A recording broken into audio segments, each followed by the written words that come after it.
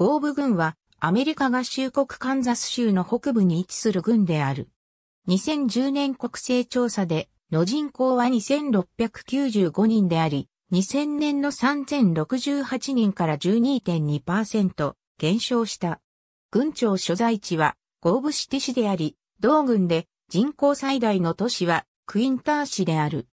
1986年にカンザス州憲法が修正されて、個人がたしなむアルコールの販売を軍の住民投票で承認すれば認めることになったが、ゴーブ軍は現在でもアルコールを禁じる、すなわちドライの軍のままである。